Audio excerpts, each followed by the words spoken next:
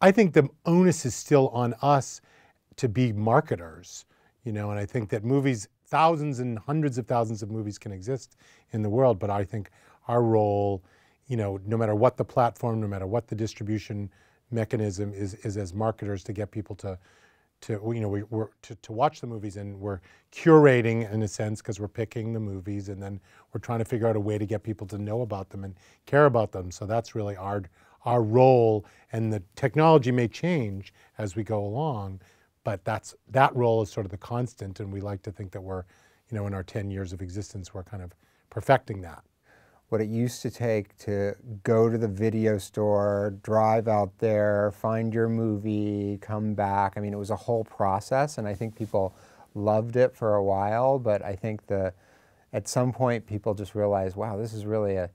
kind of a time suck, and when you can go to your living room and press a button, it makes the consumption that much easier, and it gives people the ability in a sort of